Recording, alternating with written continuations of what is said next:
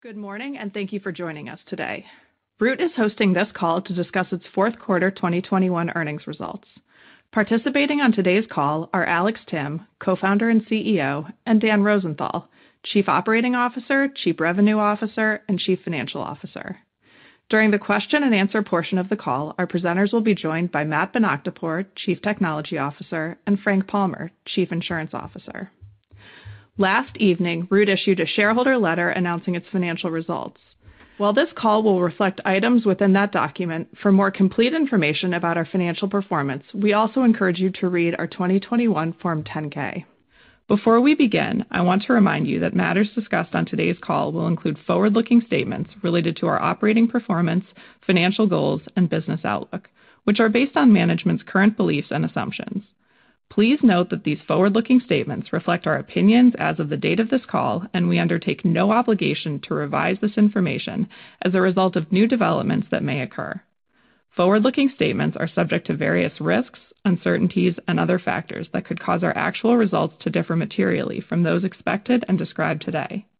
In addition, we are subject to a number of risks that may significantly impact our business and financial results.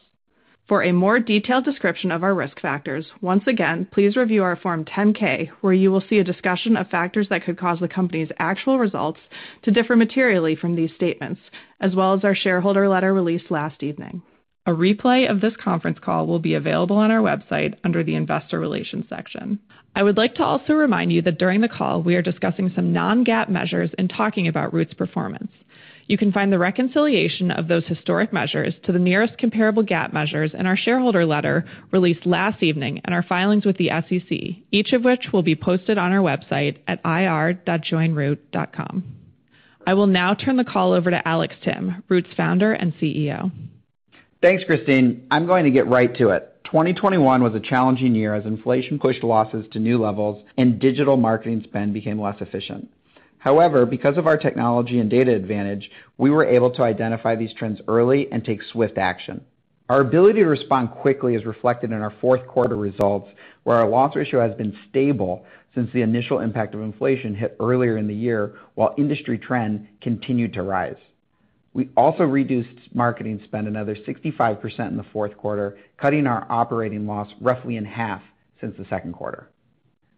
During the quarter, we continued to make progress on strengthening our underwriting and building our embedded product. We've made substantial progress in our partnership with Carvana. Through open collaboration, the quality and effectiveness of what we've been able to build in less than six months has surpassed expectations on both sides. After rolling out the first version of our product in 12 states, we've made improvements to the customer experience and are focused on driving adoption. We continue to add new states to the embedded footprint every week. As initial results have been very promising, Carvana has increased our share of traffic months ahead of schedule. We have a strong roadmap to continue to drive increased bind rates. As we build the second version of our product, we will explore how telematics can be used to inform pricing, underwriting, and the customer experience. We are also building a brokerage offering to serve customers in states where Root currently does not write business. While it's still early, the metrics around attach rate, loss ratio, and retention look extremely positive. We expect that Carvana customers will represent a material percentage of new writings in Q1 and continue to build throughout the year. On top of our successes with embedded insurance, we are tightening our underwriting standards in a state-by-state approach to further drive profitability. This work is critical to the efficacy of the data science models and their ability to drive differentiation in Root's risk segmentation. In addition, we have continued to advance our machine learning-based loss and underwriting models. Having built our pricing and underwriting systems on the very best technology, Root has been able to respond to the environmental changes quickly. During the fourth quarter, we implemented eight rate increases, and an additional five were implemented to date in the first quarter.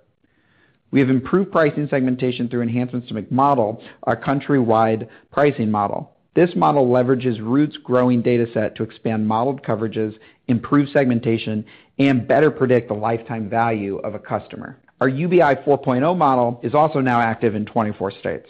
Through detailed testing of this model, we have experienced a material improvement in frequency to premium ratios while simultaneously offering better prices to good drivers. This further demonstrates how the predictive power of our technology translates into measurable results.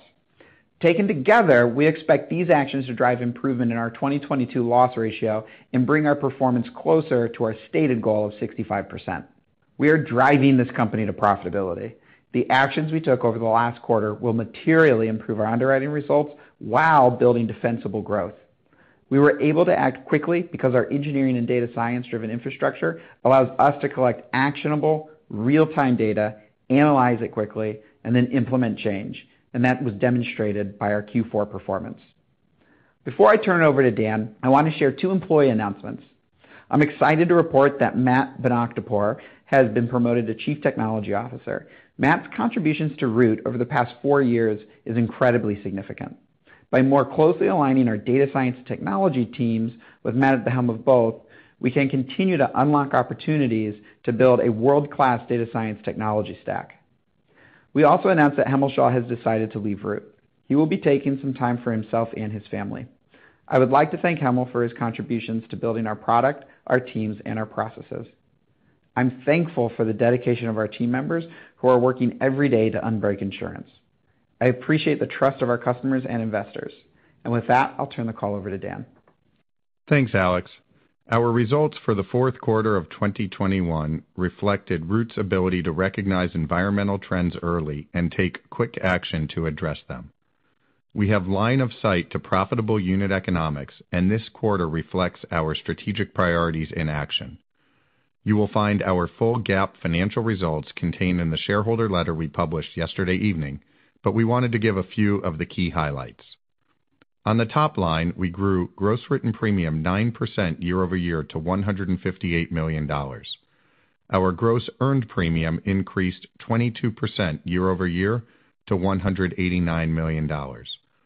The top line's outperformance was driven by relatively stable retention and less impact from rate increases and reduced marketing spend than anticipated. Shifting to profitability, gross accident period loss ratio was 91% for the fourth quarter, inclusive of 6 points of severity and 9 points of frequency compared to the fourth quarter of 2020. As Alex touched on, the relative stability in our loss ratio since inflation hit in the second quarter speaks to the power of our platform. Leveraging our technology and data architecture, we have responded quickly, getting rate and underwriting changes into market. The operating changes we have made on our path to profit were demonstrated in our bottom line. Operating loss was $92 million, a $35 million improvement when compared with the third quarter, an $80 million reduction from the second quarter when we started taking action to reduce cash burn. The primary driver of this reduction was a 50% reduction in sales and marketing spend in the second half of the year when compared with the first. Our commitment to expense management has not stopped with marketing spend. In January, we made the difficult decision to reduce our workforce by approximately 20%, resulting in run rate expense savings of approximately $30 million annually. This brings total run rate expense savings to date to roughly $48 million from our peak 2021 expense levels. In coming quarters, continued expense management actions will be evident in our cash consumption and bottom-line results. These efforts, in combination with closing on a new term loan facility with BlackRock in the first quarter of 2022, give us line of sight to profitable unit economics and capital to execute on the strategic priorities to get us there. Turning to our outlook, we remain on the path we set out on during the second quarter of 2021.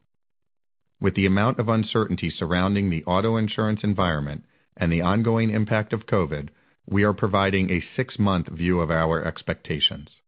We continue to expect gross written premium to reflect significant year-over-year declines in the first half of 2022 as we continue to take underwriting and pricing actions.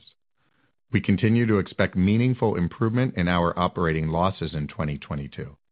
With a further reduction in marketing costs and fixed expenses, we expect approximately 25% improvement in operating losses in the first half of 2022 compared with the first half of 2021, excluding restructuring charges of $6 million-$9 million.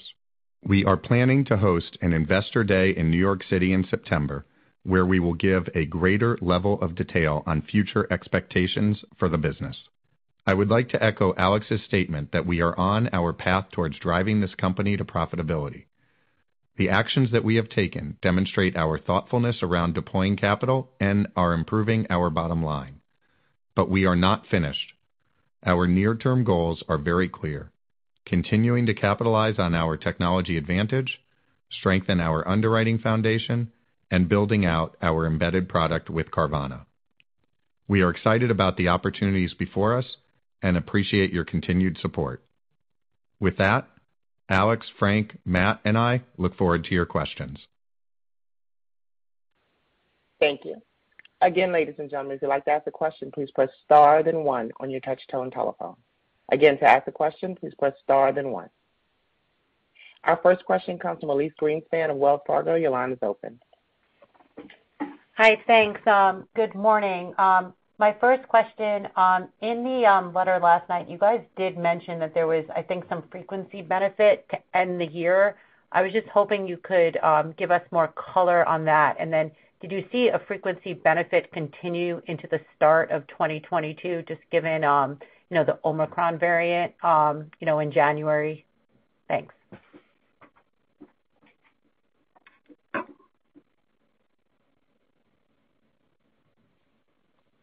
Hello, this is Frank. Um, I'll uh, two couple comments on that. As we talk about the frequency improvements from the UBI4, um, we had we did see some uh, driving reductions in uh, due to the Omicron, but those were when we talk about that from from our UBI4 modeling, it wasn't just the Omicron because we saw some of those decreases even before earlier in the summer as we rolled out our new model.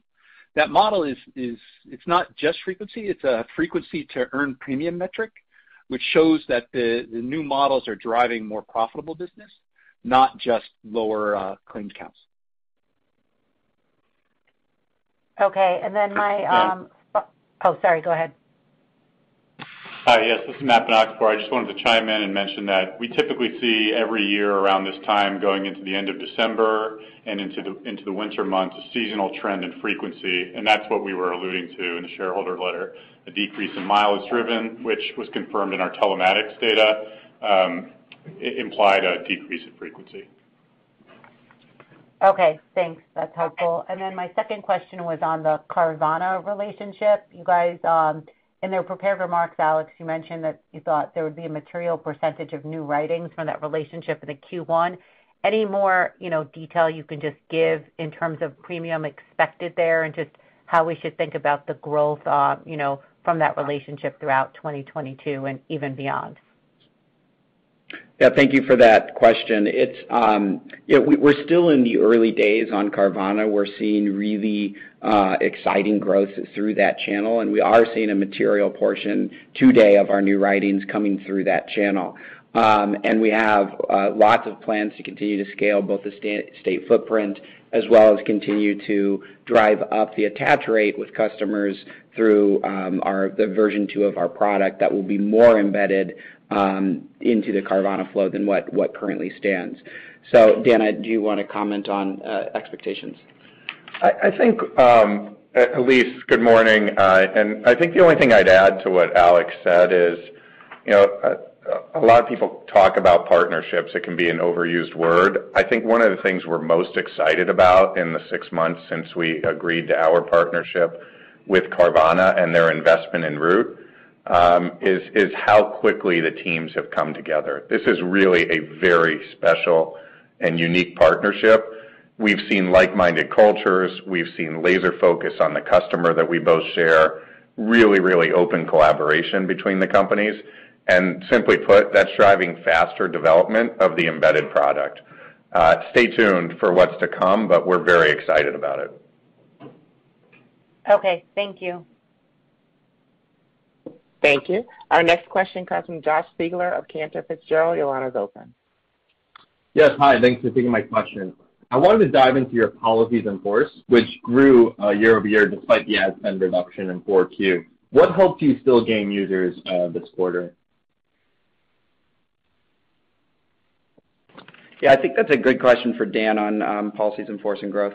Yeah, I think, uh, look, we were pleased with the performance in the fourth quarter, Uh, particularly seeing retention at better levels than we anticipated, uh, as well as some of the hangover of the marketing that we had invested in earlier in the year. Um, that said, we do we we are continuing to guide with the language that we used in the last quarter about significant year-over-year declines in growth as we go forward uh, for the first half of the year. You know, the first half of 2021 was a really significant growth period for us. And as we lap that, we wanna remain really laser-focused in this environment on our pricing and underwriting, uh really focused on the foundation of the business, what we've talked about. And it's reflected in our results from the fourth quarter that we're having success, the actions that we took in the middle of 2021, leveraging the technology that we have in place to drive a really granular focus on pricing and underwriting, and frankly, to move faster. Uh, and you're gonna start to see that show up in the results as you did in the fourth quarter on the bottom line. At the same time, we're focused on differentiated, more efficient customer acquisition channels, and for us, that starts with Carvana. So it's less about growth this month, uh, and it's more, as Alex said earlier, about building towards that on that path to profitability, and that's what we're excited. That's the journey we're on. Great. That's helpful. And you know, following along that line of thought, with Carvana becoming a material part of new writing starting in 1Q 2022, do you also expect it to start having a positive impact on your loss ratio for the for 2022 for the full year? I think Matt uh, Bonakdarpour can talk about what we're seeing through that channel Um, to date. It's still very early days, but we are seeing positive signs. Matt, do you wanna give some detail? Yep. I do wanna underscore the fact that it's very early days and the losses are still developing, but we are seeing encouraging signs not just from the customer mix characteristics and the retention data that we're seeing, but also early indicators of frequency and loss ratio. It's important to note that anytime you start a new channel, you will feel a new business impact from that channel. But when we compare and control for that fact, the early signs are very encouraging. Great. Thank you very much. Thanks. Thank you. Our next question comes from Matt Carletti of JMP. Your line is open. Hey, thanks. Good morning. Um, taking your kind of comments on, you know, pricing actions, you know, what you've seen with frequency, um, and also, you know, the commentary in the letter about um, being able to kind of see loss trends more quickly due to your technology and react to them, eh, you know, eh, do you think it's safe to say, you know, knowing what you know today, that we've seen the worst of the loss ratio? I mean, I heard your comments about, you know, improvement in the loss ratio in 2022.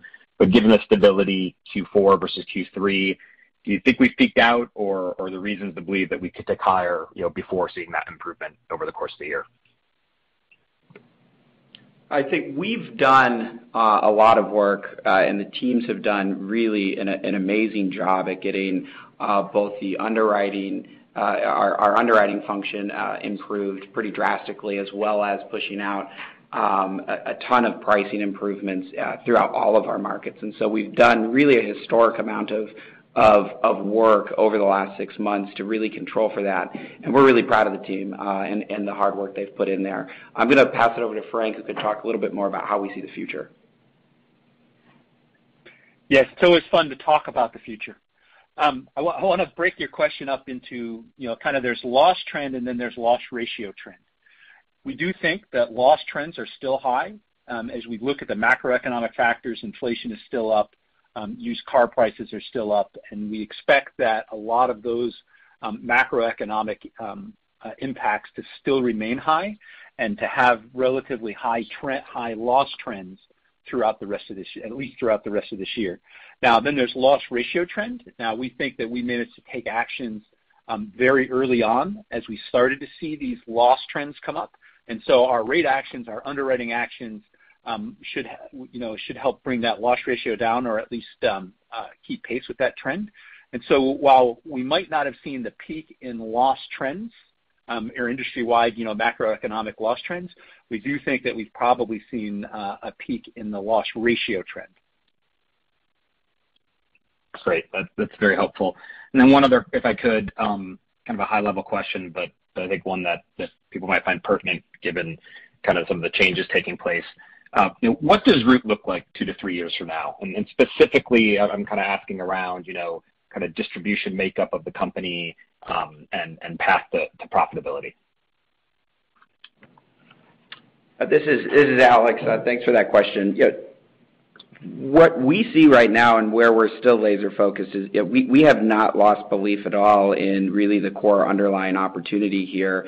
And we still think that, you know, when you look at the 260 over $260 billion auto insurance market, that we have developed really differentiated technology, both in our ability to move quickly and develop things like Carvana and even a broader embedded platform, where because of our technology, we can deliver one-click experiences. And at the same time, we can leverage our data to actually materially improve the underlying unit economics. And so I think in the future, you're going to see, you know, we do believe embedded is a gigantic opportunity. We think that there is going to be a very large shift. We think it builds better consumer experiences, and we think that we're at the tip of that spear. Um and we're going to continue to expand that product and distribution line. We also still believe in our direct channel. Uh we think that we can build better consumer experiences uh through our technology, and that's what we're gonna continue to do. And then with that, you should expect material improvements to profitability, which, you know, is the company's track record. We have consistently improved loss ratio over the years. And yeah, you know, we saw some inflation last year, but we believe we've now really acted quickly, decisively, and aggressively to get that back under control. Great. Thanks for the answers. Appreciate it. Thanks. Thank you. Our next question comes from Michael Phillips of Morgan Stanley. Your line is open. Hi. You actually have uh, Ismail on Dabo on for Mike.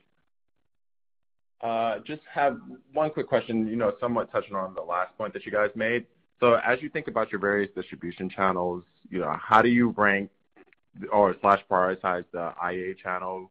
I think you touched on D2C, and you still have a focus on D2C, but I'm just trying to figure out, you know, how do you balance the various distribution channels, including partnership and, uh, you know, you guys have alluded to somewhat breaking into the IA channel as well. And We do have, um, you know, investments throughout multiple distribution channels, including um, our independent agency channel, which is still live, and we are getting policies through that channel today. Uh, however, what we have seen and what we have observed over the last six months with really the um, with the Carvana partnership and the success of the embedded product uh, has really surpassed any of our expectations. And so What we, in the immediate future, are really focused on is we think it's very prudent to focus our resources there to continue to drive uh, that growth channel. And We also believe that that growth channel Uh, actually can create a moat around our business because uh, it is differentiated access to customers, um, where we can uniquely service those customers in the moment that they actually have the need. And so we think because of that, uh, that that's really where we're focused right now.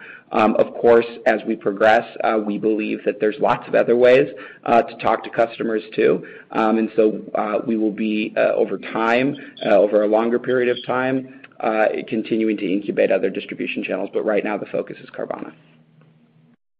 Great. Thanks. And just a quick question on, you know, your rate increases. So you've been taking significant rate increases, I think you guys alluded to in your shareholder letter, 14% since the beginning of 2021, which somewhat seems above the industry average. Obviously, people have been taking rates for Um, inflationary pressures. But I'm just trying to figure out, you know, what is that a function of? Is that, you know, from I know when you guys enter new states, you weren't allowed to use your telematics pricing, so you had to rely on other previously filed data from other insurers. Or and is it just like a function of your telematics uh, pricing and you're adjusting for it there, or is it a difference in the inflationary environment as well? I'm just trying to parse out, you know, what is the difference to what it seems above industry average rate taken throughout the past, like, few months. Sure. This is Frank. I can I can take that. Great question.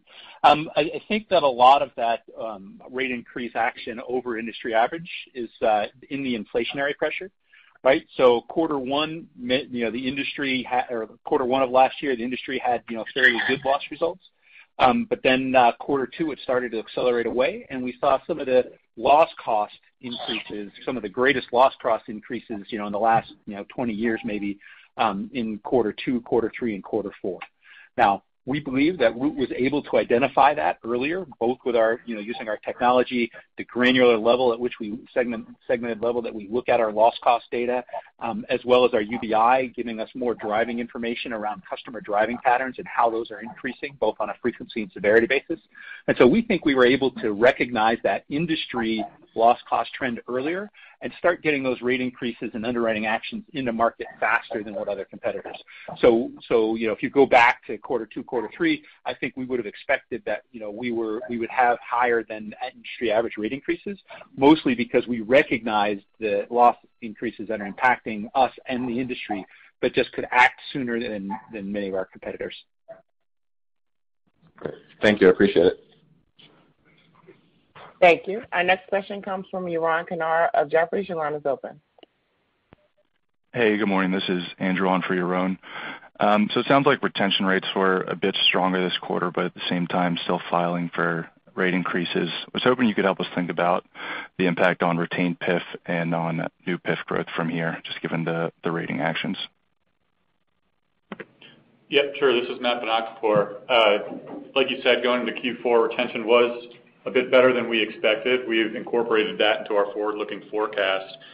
We have gone out of our way as we've improved our underwriting and pricing capabilities to pay close attention to the customer experience. And that means preserving the rate they get at new business as they renew into their future terms.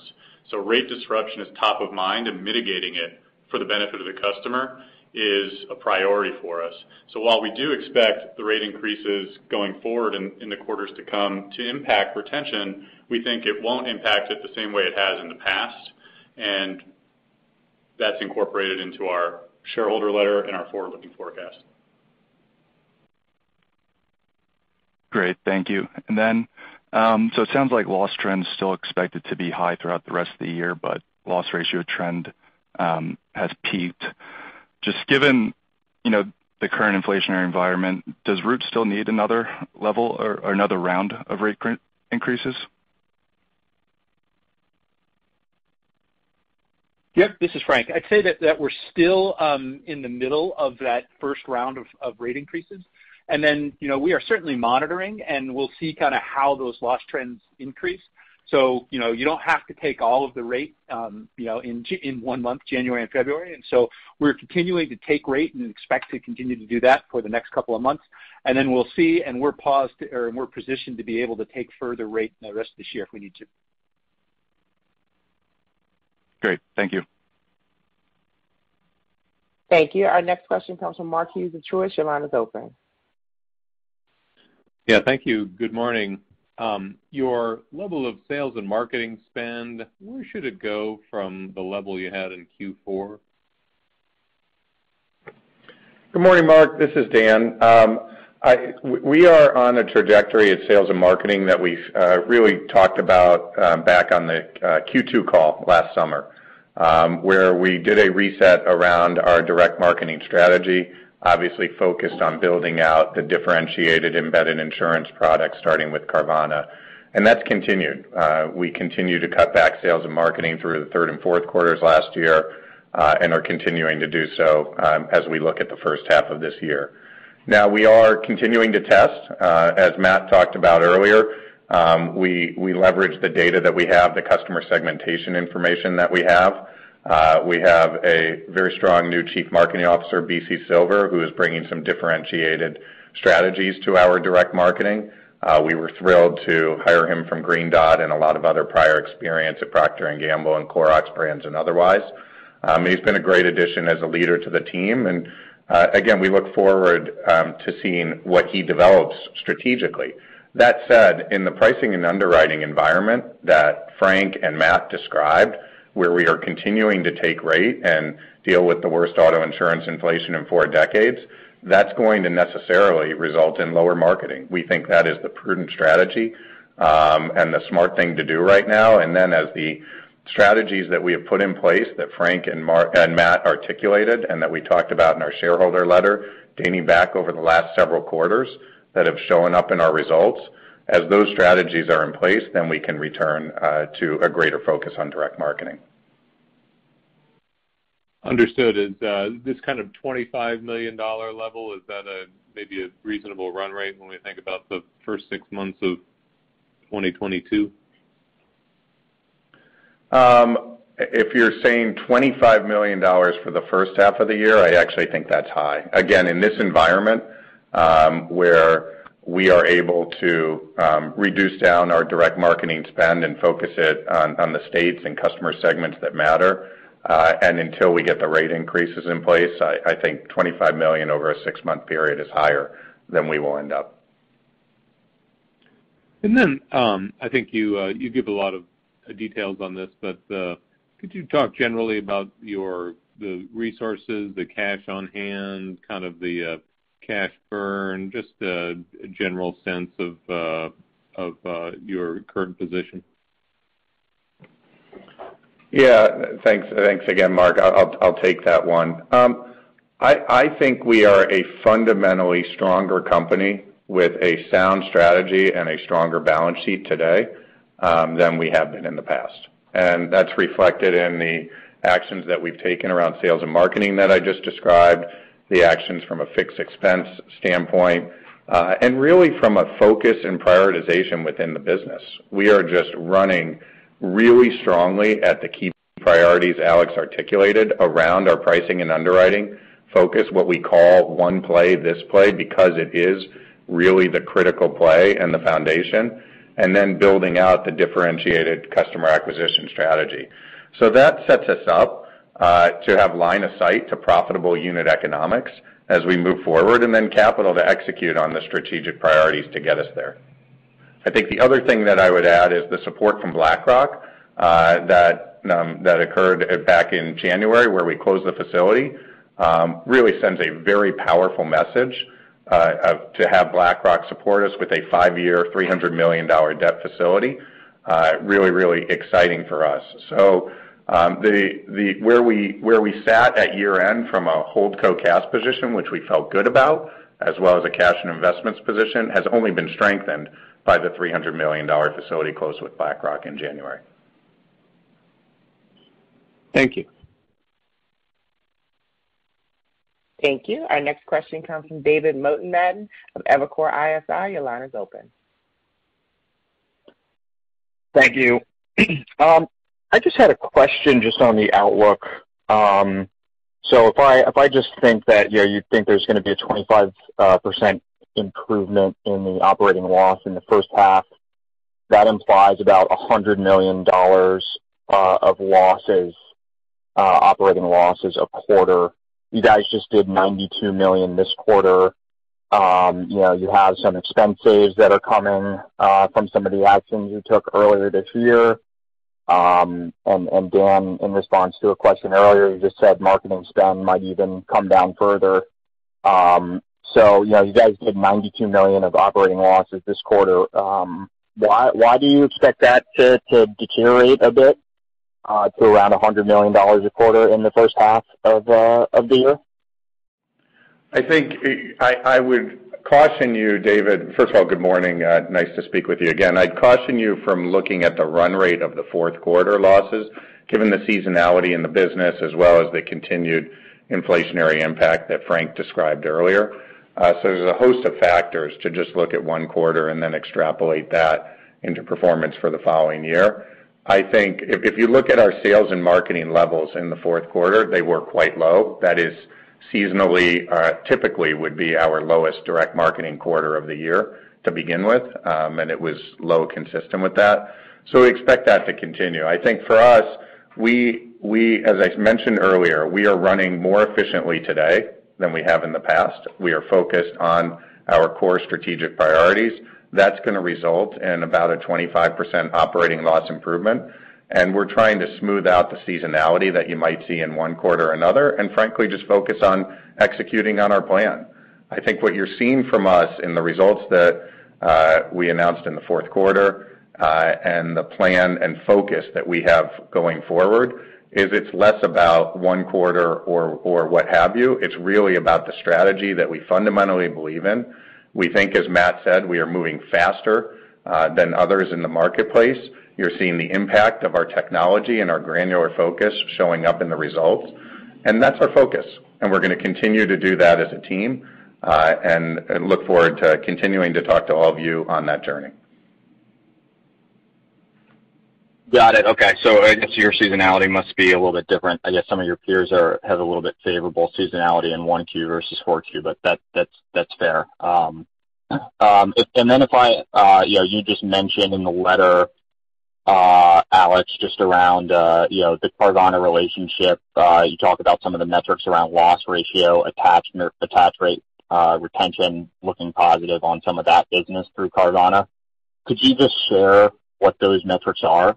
Um and I'm specifically focused on what the conversion ratio is uh for the the Carvana relationship and uh how that's looking, um just just to to get a sense for, you know, as you guys expand, how to think about that.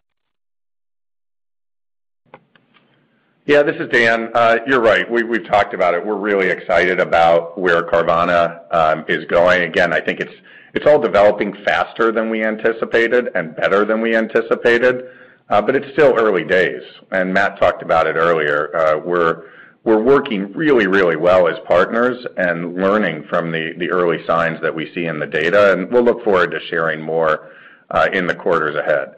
The leading indicators that we do see support better unit economics coming from the channel and a better customer experience. And Now it's about continuing to develop the product, add more states, learn from the testing, refine, and grow the channel.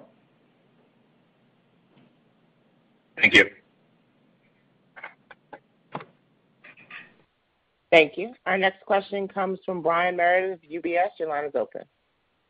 Yeah, thanks. A couple of them here. First, I'm just curious, Dan, I think you mentioned that the loss ratio had 6% severity in it. I was a little surprised at that number, given that, you know, most of your competition and most of the other personal auto carriers had double-digit severity in the quarter.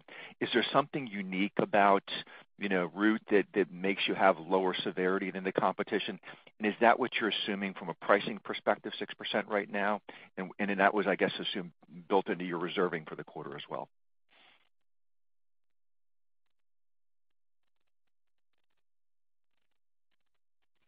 Hi, this is Frank. Um, I'd say that that you know, when you think about the pricing, right, to your pricing question, um, we look at frequency and severity and overall loss trends, not just the severity. So I do think that, you know, on an annual basis, um, you know, year-over-year or quarter-over-quarter, you might see higher than uh, than 6% overall. We're expecting probably higher than 6% overall loss trends. I and I will say too, with um, our claims uh, functionality, uh, particularly, um, you know, all of our claim systems are in-house, and so when we see things like used car prices increase, um, we can very easily and quickly actually uh, mitigate a lot of that by making sure that we're totaling fewer vehicles and beginning to actually move more into into repairs. And so we were able to make that shift actually Um, real time because we have a data science model that effectively uh, assigns a threshold um, that allows us to basically uh, decide whether or not we repair a vehicle or total a vehicle, and we can do that um, honestly on a day-by-day basis. And so as we've seen severity increase, we've been able to actually uh, change the logic on our on our claims handling, which is, you know, we believe very unique in the industry. Great. Thanks. And then second question, Uh, um, just quickly back on cash burn. Um, just curious, you know, as I look at kind of near-term cash burn, given the big drop you're gonna see in written premium in the first half of the year, does that all at all kind of maybe increase cash burn a little bit in the near term, ultimately, obviously, to improve as as the book uh, improves? We don't anticipate that drop-off in new business to um, uh, materially increase cash burn. In fact, we think the opposite will occur because new business, typically with a higher first-term loss ratio, uh, causes causes a bit of a strain on on cash burn. And so, you know, we've cut our operating loss um, roughly in half in the last six months or so. Um and we think that that's going to continue. Great. Great. Again, if I could just one quick last one. The Carvana um, relationship, I'm just curious, is that a telematics product? So, uh, what we've done in the um, in in the first version of Carvana is we've really prioritized getting a product out into the market, into consumers' hands and moving quickly. Uh, and that's the way we like to develop products at Root, is we we really leverage our engineering abilities to ship product very quickly, uh, very very frequently. And so every week, we are making improvements to that to that, um, uh, that product flow. Currently, we are not using telematics in the Carvana flow. However, we do have plans to. Uh, we think that there's a lot of really interesting opportunities here, particularly given that they have um, the vehicle um, really in their possession, um, which allows us to get closer to vehicle technology as well while they're in the reconditioning centers. And so um that is certainly on our product roadmap, uh, and we will be iterating quickly and inform you guys as we roll those new products out. Thanks. Appreciate it. Thank you. Our next question comes from Tracy Benguigui of Barclays. Your line is open. Good morning. I'm trying to rectify your 8 rate increase actions in the fourth quarter and your average premium. So I see your premiums per policy only increased 2% in the fourth quarter versus the third quarter. So should I expect it's just a time lag thing, it'll take more time to recognize some of the pricing actions you've taken in your average premium? Um, yeah, this is Frank. Thanks, Tracy. Good question. Hi, Dan. Um, Go ahead, Frank. I was gonna say that one, yes, certainly earned premium will take, you know, longer to earn in. But I'd also say that with some of our marketing actions and the slowing down, we've also had mix shifts from from new to renewal and others. So just looking at the average premium, I think is hard to reconcile between filed rate increase and, um, you know, average earned premium just because that there are mix shifts.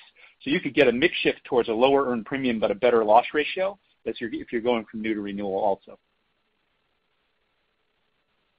Okay. And then just staying on rate actions, I was actually struck by a 56.4% rate request in Nevada, where you're proposing a historic adjustment and to better reflect loss trend, and you're also trying to fix an expense load. How do you think Nevada will respond to that? And should we expect any other historic adjustments in other state filings? This is um this is Alex, and that's a good question. Uh we have one, we always are working with with regulators, and we are continuing to work with regulators through our state filing process. I think it's important to note that now that the industry has sort of come along and and and realized that this this loss trend is real, is that we are not really alone in in requesting um, large rate increases. And so um, I think that that that that that has helped us considerably. And We have been able to, and I think the track record shows now, um, actually receive approval um, of our rate increases. We've gotten uh, many very large rate increases and and changes in market over the last six months, and we think that that's going to continue. Uh, you know, the other thing that's really important for us and why we're able to do this is because, uh, you know, we have automated uh, almost all of the actuarial impact analyses that we need to show and the data that we need to support um, those rate filing increases. And so, so long as we can show that these are actuarially justified rates, which they are, Uh, we have all of the belief in the world that we'll be able to get um, the rate increases as we've shown in the past. Okay. Um, and if I could just sneak something else in. You've mentioned 9 points of frequency and 6 points of severity in the fourth quarter. If I compare that to last quarter, you also said 9 points of frequency and 8 points of severity. So it seems like frequency is flat, not better. So when you talk about frequency being better, is that a seasonality perspective? And it also seems like severity is getting better. What is really driving that? And given your other comments that inflation uh, should still impact results. Yeah. The um, nod to frequency in the shareholder letter was really talking about the very end of Q4, going into the seasonal decline in mileage at the end of December, more specifically, and into the winter months. That's what drove the decrease in frequency in the quarter overall. Um, severity trends have more or less stayed flat. It's basically natural variation quarter-over-quarter. We haven't seen the inflationary pressures stack on top of each other quarter-over-quarter, and that allows us to be confident in the rate filings that we're going forward with to date. Oh, okay. So that comment was more the end of the quarter, but it was still flat 9 points versus 9 points for frequency and more of just uh, variability quarter by quarter in the 6 points of severity versus 8 points last quarter. Is that right? Yeah. Uh, I think that that's correct. You're gonna see some variability when we look at um, year-over-year trends in severity and frequency. Particularly on severity, it can be noisy. So uh yeah, I would say that that's correct, and then we are seeing seasonal benefits to frequency. Thank you. Thank you. Our next question comes from Ryan Tunis of Autonomous Research. Your line is open. Thanks. Good morning. Um, as best you guys can tell, what do you think your cash position will be at the end of 2022? Thanks, Ryan. I appreciate the question. I'm not I'm not gonna get into specifics on that. You see, especially given the uh, environment that we're in. What we're excited about is a couple of things. We're excited about the fact that over the last couple of quarters, um, we have hit our stride from a strategic standpoint, Uh, as well as uh, an operating standpoint. Alex talked about the significant reductions in sales and marketing expense, the fixed expenses, et cetera. And we're forecasting a 25% operating loss improvement year-over-year for the first half of the year. And as I said earlier, we're really pleased that we see line of sight to profitable unit economics that will help protect the cash position that we're in. Um, and we have capital to execute on the strategic priorities that we've laid out. Part of being more focused from a prioritization perspective, uh, it certainly allows us to benefit from the capital position that we're in and extend out to cover the priorities that we're focused on. On top of that, uh, I mentioned earlier the BlackRock facility, which is a five-year, $300 million facility that closed in January, uh, is really, really important and gives us the foundation and the support to continue to execute on our strategy for years to come. Got it. A uh, follow-up for Alex. Uh, I mean, a lot of point guards have actually won the MVP, and you guys have actually shown you have a lot of marketing acumen. You've sold a ton of policies over your lifetime. You have a decent tech stack as well. And seemingly, if you were to run more of a tech-like model, you could do it with a lot less G&A. Is there any thinking? Have you guys thought at all about perhaps pivoting your model and trying to monetize it in a different way? Or is that something you would consider, you know, over the next six months or so if if um if the insurance environment is still complicated? We think that our technology, uh, as we said before, is you know, extremely differentiated, and we've seen that. Uh, you know, when it comes to Carvana, for example, uh, you know, we've said there are several states that we know we we don't support right now. Uh and what we've seen is that that's attractive business, and that there are definitely other partners, potential balance sheet partners, um, that are that are interested and are leaning in um, to potentially partner with us. Um, now, what I will say is that when we're looking at those partners and when we're considering this, is it's very important to us that they can maintain the customer experience that we're building. And so making sure that they can leverage our technology and um, sufficiently provide that level of customer adoption and experience is gonna be really important. Uh, you know, we have had an enterprise program in place too for uh, a couple of years now. And so um, those business model changes Uh, and the different various business models to capitalize on the core technology asset that we have built here um, is definitely something that we're we're exploring and and honestly have explored and we have um, real real progress to show to date. We we already have, for instance, two um, uh, major insurance carriers that we partner with uh, in in order to broker business. So we we certainly look at that. I think, Ryan, uh, this is Dan. The only thing I would add is that the industry has taken note of the, our ability to leverage our technology during this very unique environment. And You can imagine that we have gotten significant communication on that because the results speak for themselves, and that's only reinforced by the results we posted for the fourth quarter. We're always going to look at opportunities and some of the strategic choices that we have in front of us. Uh, again, we're excited about being at this point in the journey and some of the things that are going to develop in the quarters ahead. Thanks.